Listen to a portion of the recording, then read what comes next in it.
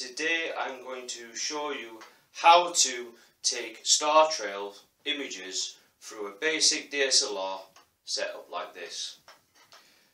Now star trailing is a process of you take series of images of the night sky you can either take a long exposure to get star trailing or you can take separate exposures. And basically what you're trying to do is you're trying to capture the stars so that the trail, because this mount or this tripod is not uh, got mo no motor drives, it's just a basic Alt-Az mount. It goes up and down, left and right. And basically with this setup, an EQ mount will track the stars. A mount like this won't track the stars. So basically what you'll get is a field rotation in the night sky. So when you're taking series of exposures, you will get the star trailing. For some people, it is bad to have star trailing in the images, but you can actually get some amazing pictures through star trailing particularly if you want to focus on a landscape or, or iconic sort of uh, structure or in the uh, on the landscape or a nice scenery or even just in your back garden. You can set it up and you can take these star trails. And this is what exactly what I've done. It is it is actually the first time I've actually done star trailing and last night was absolutely amazing. So what we're going to do is we're going to take a closer look at my image that I taken last night.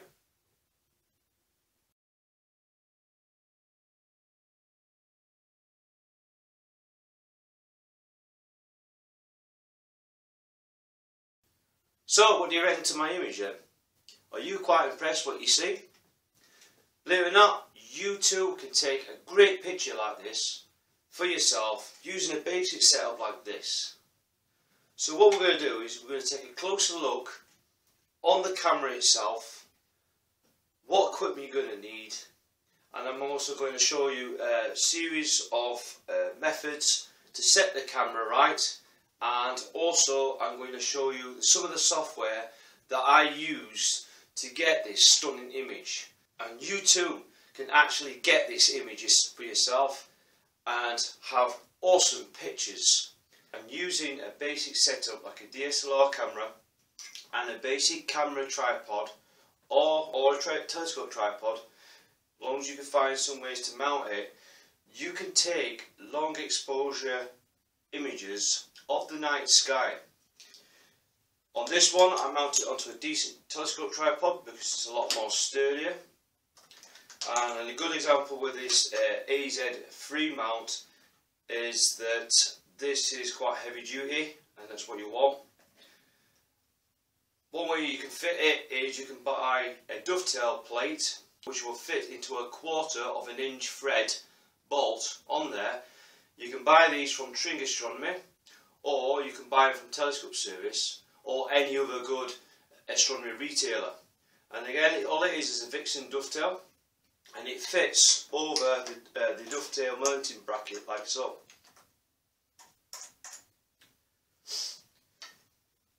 Another accessory you're going to need is very important and for you to take long exposures of these uh, star trails you're going to need to invest in a bulb or shutter switch.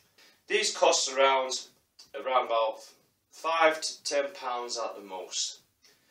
You only need a basic one, the one that has a clipping switch, okay, so enables what it does is it will, if you connect it to the camera like so, on the side,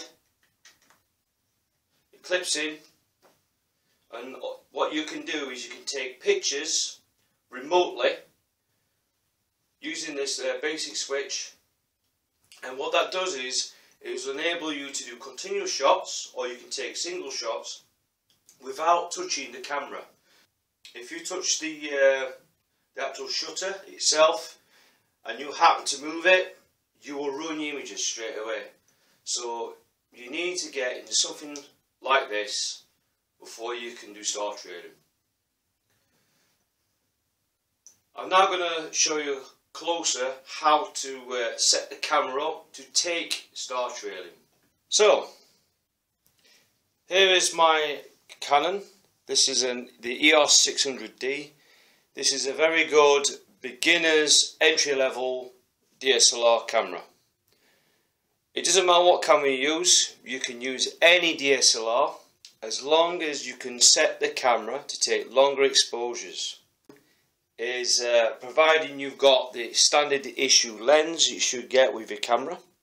This is basically a normal uh, stock lens which is 18mm to 55mm lens.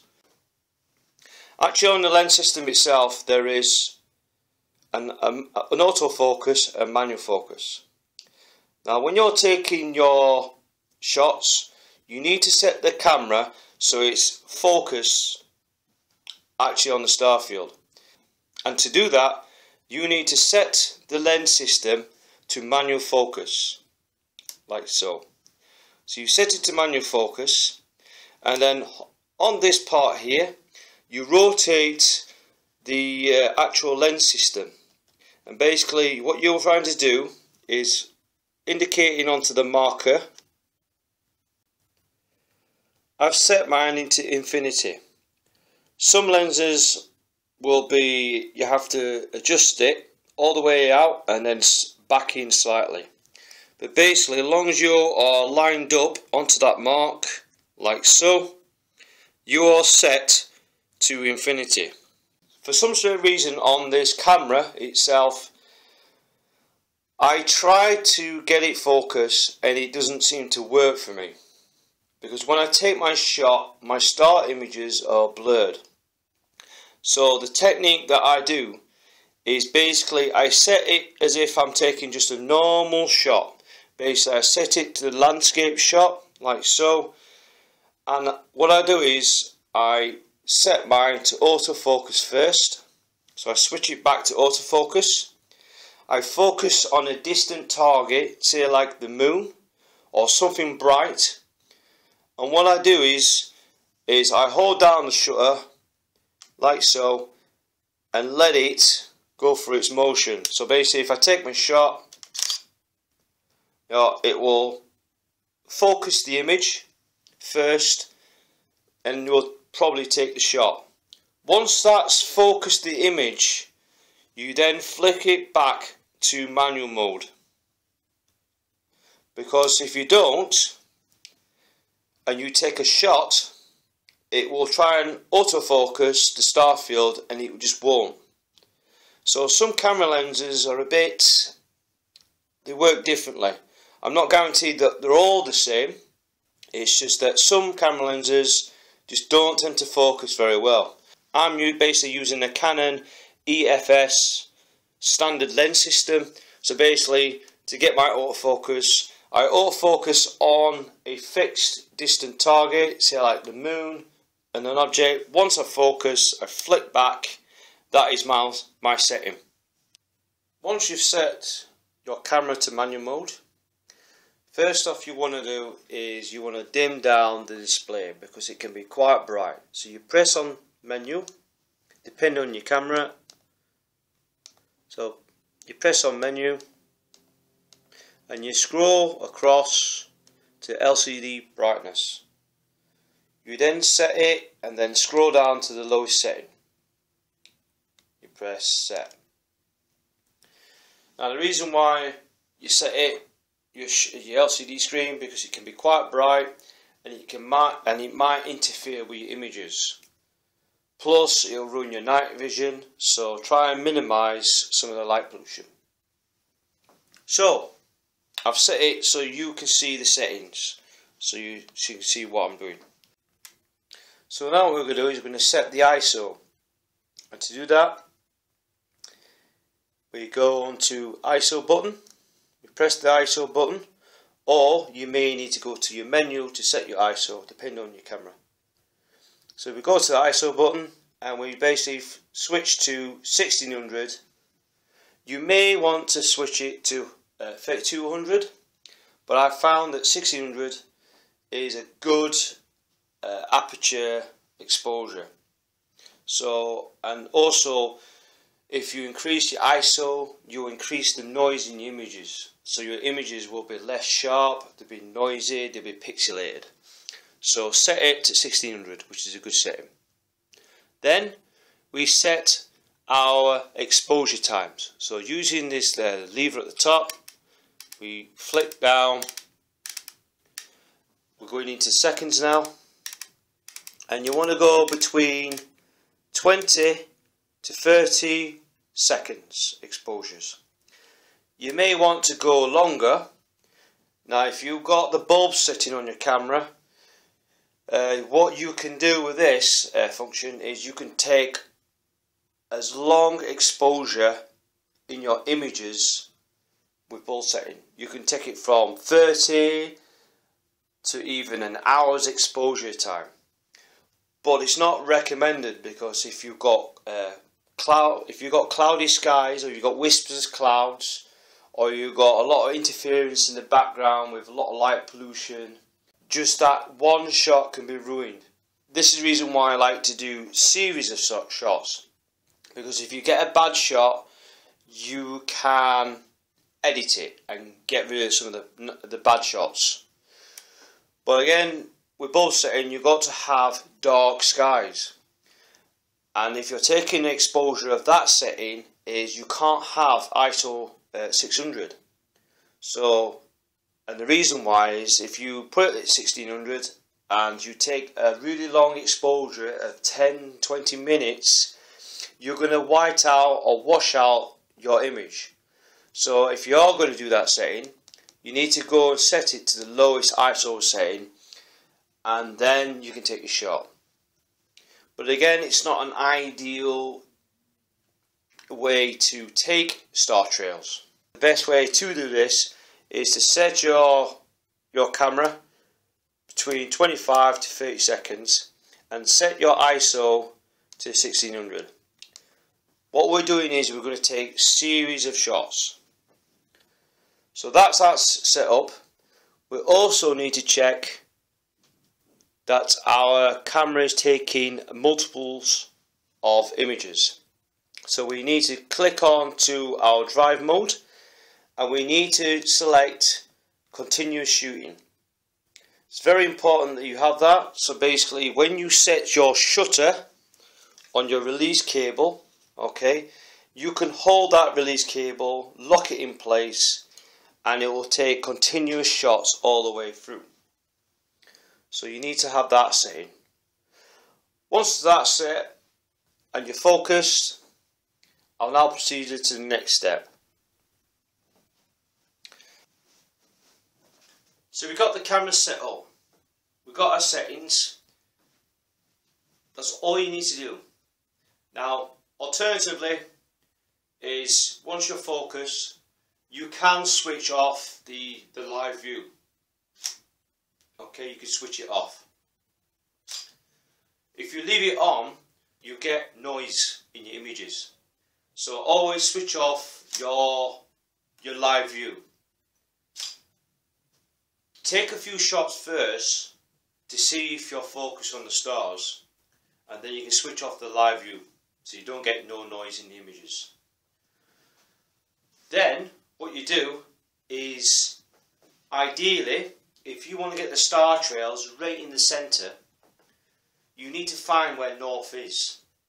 And to do that you need to use a compass or you can use a mobile phone app called GPS Status which is an Android app.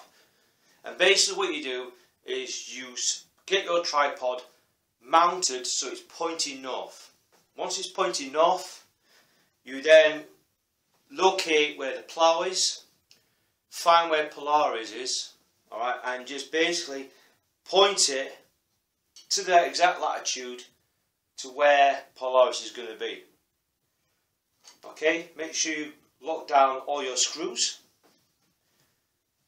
And then once you're in view, you don't need to be exactly, you can do a rough sort of guesstimate.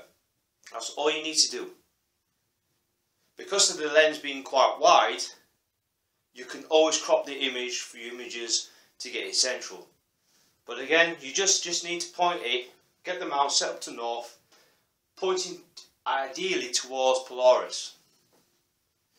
Then, all you've got to do is get your camera on the shutter, you can take the picture, you can take a shot. So you're taking your shot and keep away from it. And there you go, it's taking the shot. Once you're happy you've got a nice sharp image and you've got the pinpoint stars. So what you'll do is then, is you'll take round about, depending on your night sky or depending on what time you've got left that's clear, take as many shots as possible. So take loads of shots, as much as you can. Ideally take at least 30 minutes or 30 seconds exposures or more. So if you take an hour or 80 minutes or whatever, depending on whatever, just take as, as many shots as possible. Also, be careful when you're taking long exposures is because the, the lens hasn't got a dew shield, you can't fit a dew shield because of the wide angle or you'll get a vignetting effect. So time after time you need to go and dry out the lens because it either freeze up or up. Because if you don't do that periodically for about 10 to 15 minutes, it will ruin your shot and it will ruin the images. So just keep going in and out, checking on the camera. You know, once your camera's set to continuous frames, you can just take the shots and all that. It, once you've finished your shot, then you can either use a, a cloth to try and wipe off the dew. But personally, I don't like that. Because if you're wiping off the camera lens, what that will do is not only will it uh, smudge your optics, it will also might move your camera setup, which you don't want. So, top tip, you can either borrow your, uh, your wife's or your partner's hairdryer. And basically what you could do is use the hairdryer or get something like this which is a purpose for dew and this is called a dew buster. You can get these from a lot of good astronomy retailers and they'll sell them for about around about 15 to 20 pounds. This is a DC format so you can plug it onto a power tank or a battery or even your car. What this dew buster will do is will help you to clear the lens without touching the camera body or the tripod. So basically you once you uh, keep going up and down, you're, you're basically waiting to get rid of all the dew or the frosting. Once that's done and clear, you can just go back and just take a shot. And what you do is you can take loads of these pictures and keep going half an hour to an hour to even two hours if you wish. And just keep taking as much as you can. Also, uh, when you are taking long exposures, it is a good idea that you take dark frames. And the reason why you take dark frames is the software that I'm going to show you is the software that I'm going to show you to take dark frames will help to reduce the noises in your images. And to do that, all you do is clip on the dust cap clip on the dust cap and basically what you're going to do is you're going to take dark frames Uh, and it doesn't matter how many dark frames you want to take you can take between 30 or 40 dark frames depending on how much you got.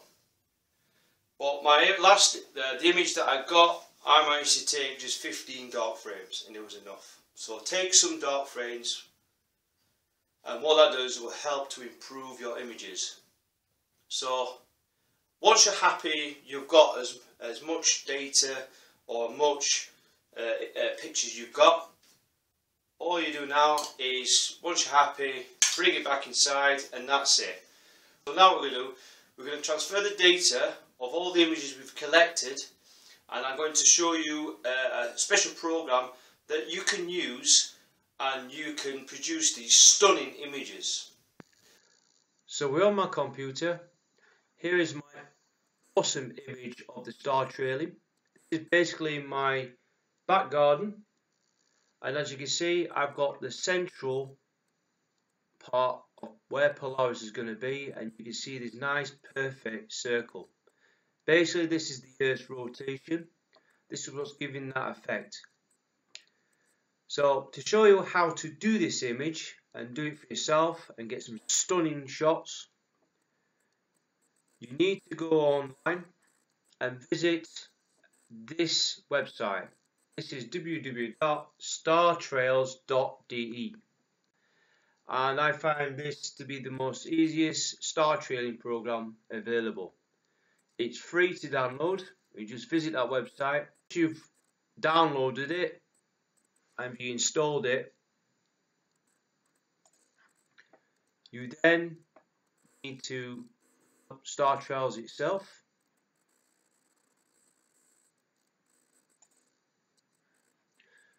So this is the program. It's very basic and all you got to do is if you select file and you open your images you then go and find where your star trails are. So we're going to our star trails and these are our captures. I've only captured a few amount of frames, the frames I've had because of uh, the, the lens system started to frost up.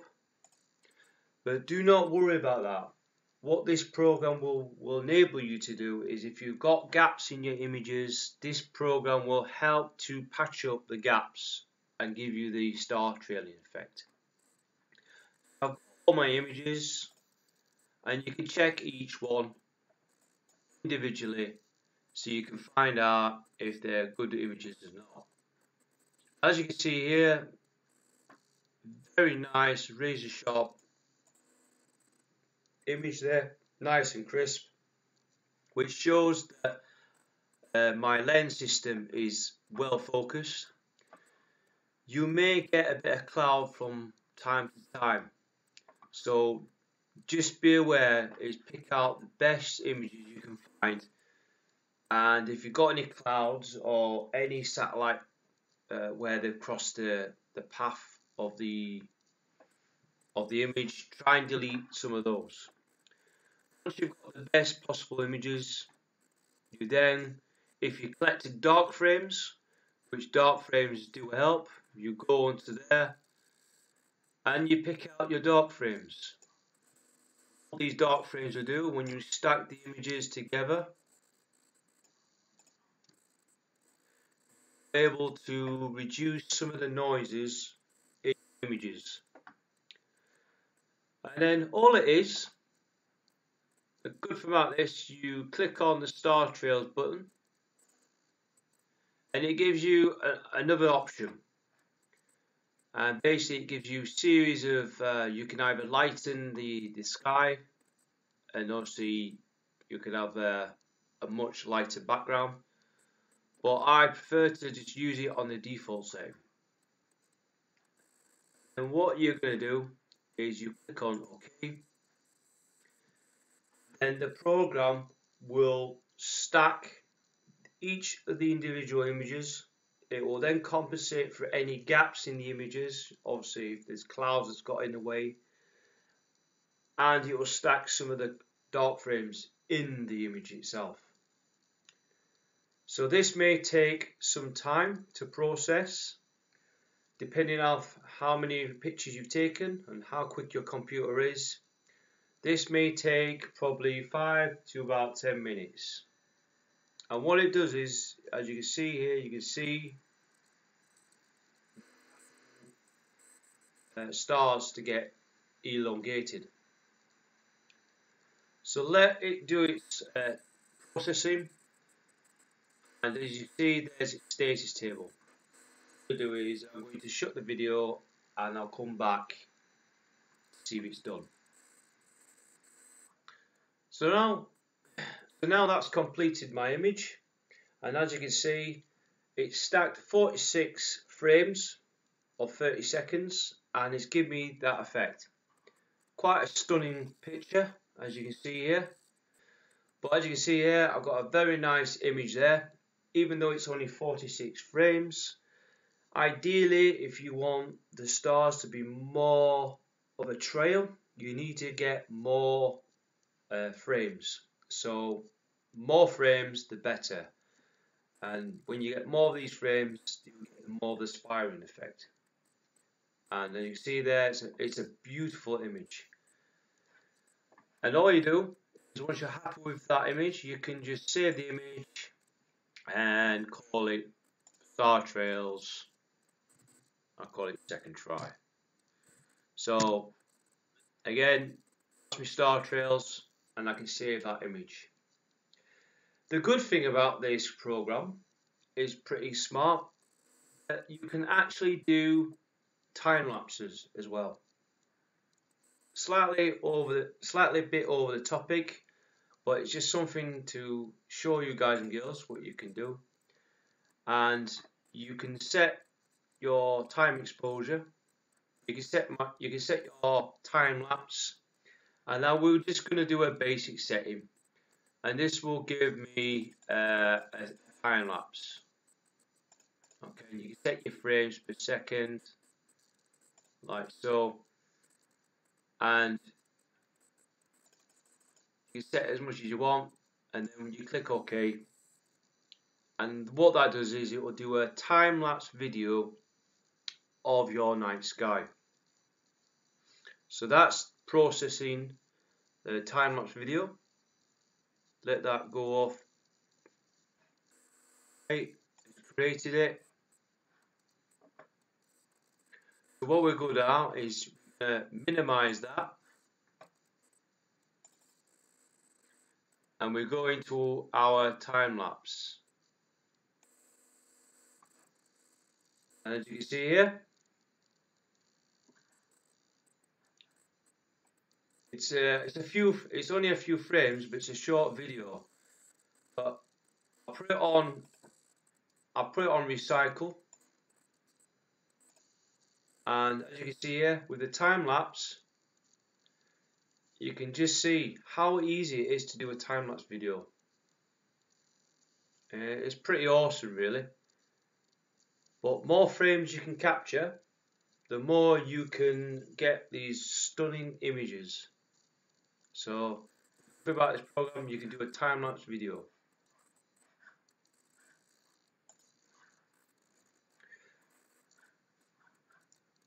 So that includes my video on sh on showing you how to do star trailing and some basic time-lapse videos. I hope this video has helped you uh, massively. Please feel free to comment this video and please post these great images of the star trailing. Now this is just my first attempt and unbelievably it was very successful. I just couldn't believe I could get a stunning image through uh, my basic setup. So again, please feel free to try this star trailing. It is a must and some of the images that you can get are absolutely unbelievable. So thanks again, thanks for watching, and clear skies to you all.